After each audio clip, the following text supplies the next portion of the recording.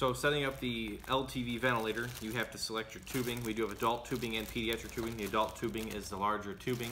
It is clear tubing. There should be four connections when you take it out. You will have these four connections. You have a larger one and then three smaller ones, which we'll go over how to plug in in just a second here.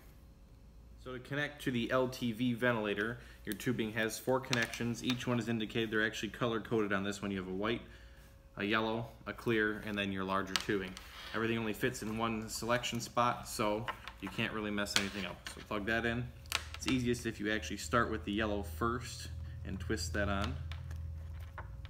Make sure these twist in nice and easy. I do the clear one next. And then finally the white one. Once you have those hooked up, you're ready to go ahead and input your settings. In order to connect your oxygen hose from your ventilator to your oxygen source, uh, most of the time when you're picking the patient up, you're obviously going to be connecting it to your portable oxygen source. So your O2 regulator should have the uh, quick connect for your high pressure oxygen source and your oxygen uh, tubing to your ventilator should also have the connection for the high pressure. Um, as long as your regulator is on and secured, your tank is turned on and it has oxygen in it, check for leaks with your high pressure connections. You can check for leaks here and again at the ventilator side. Um, all you have to do is take this and plug it in. You have a couple prongs, make sure all your prongs line up. You plug that in to your oxygen source and you should hear it connect. Um, now your ventilator is hooked up to oxygen. In order to disconnect it, all you have to do is twist this here and it will pop off. All right. And in the actual vehicle, there should be an open wall plug for your high pressure oxygen support. Same thing, you just line the prongs up and you push it in to connect it. To take it off, you just twist to unscrew and it should take, pop off. That's how you connect your vent to oxygen. So now we're gonna go over how to input the settings into the LTV ventilator. So the first step is to turn it on. So there's the on standby button, you just press and hold that and the ventilator will boot up. So it's going to start asking you some questions in the LCD display here. It's going to say same patient. We don't often transport the same patient on ventilator, so you're going to scroll over using your scroll wheel to new patient. Press select. It's going to ask you for the size of the patient. You have infant, pediatric, and adult. Most of the time we're transporting adult patients. So we're going to select adult. Now the LTV ventilator defaults into an intubated patient mode. All right. Um, as you can see, we are currently in assist control volume mode. So the items lit up and bright color on the display are the adjustable items for the current mode that we are in. So you can see that we can change tidal volume and breath rate, inspiratory time, or oxygen percentage, etc. So to change a setting on the ventilator, you just select the setting you wish to change. It will highlight just that setting and you will use your scroll wheel to change the setting. So we'll adjust our tidal volume to 550 milliliters. To save it, you select that button again. Same thing over here, we could change our breath rate and select it again to save. PEEP is down here in the corner, so if you have to adjust your PEEP. You just select that and change your PEEP.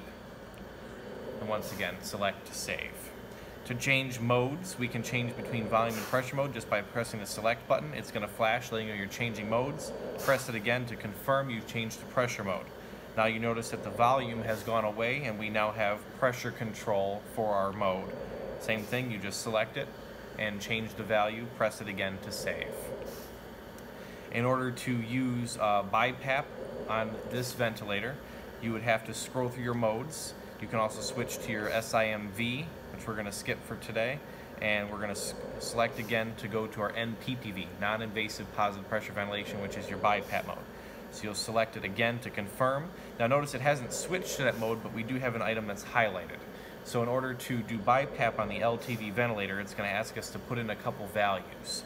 So normally for a BiPAP patient, you have an inspiratory pressure and an expiratory pressure, or IPAP, right? Um, so it's asking us to set our inspiratory pressure.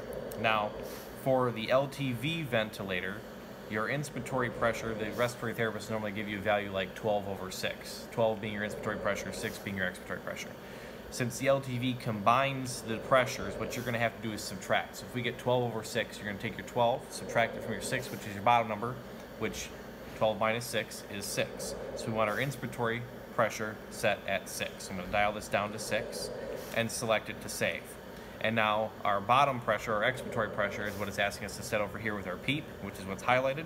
I'm going to dial that up to 6 because our bottom number was 6, right? And select that again. And we are now set in our BiPAP mode.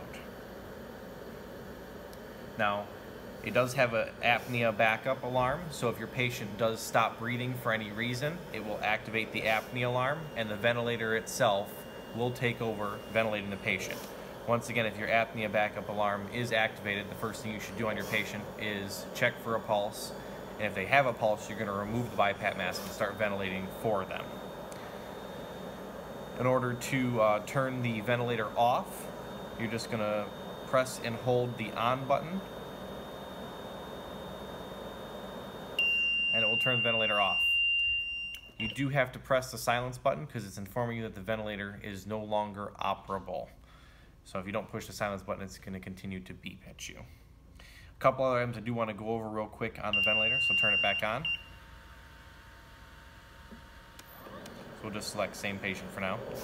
Um, your alarm settings. So you can adjust your alarm settings here. One of them is your high pressure alarm, one of them is your low pressure alarm.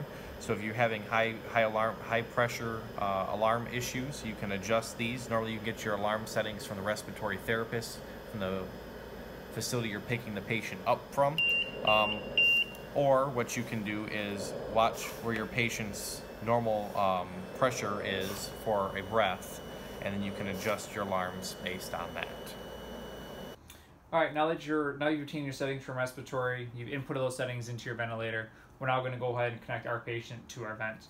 So you're going to need your HEPA filter, you're going to need your capnography, and you're also going to need a BVM as backup just in case. Go ahead and grab your circuit, take your capnography, screw the capnography into the monitor first. This way it zeroes out. Once it's zeroed, go ahead and connect your capnography. Take your HEPA filter, and attach your filter. Just like that. Go ahead and disconnect the patient, the hospital circuit from the patient. And go ahead and connect your circuit to the patient. Your patient is now being ventilated through our ventilator.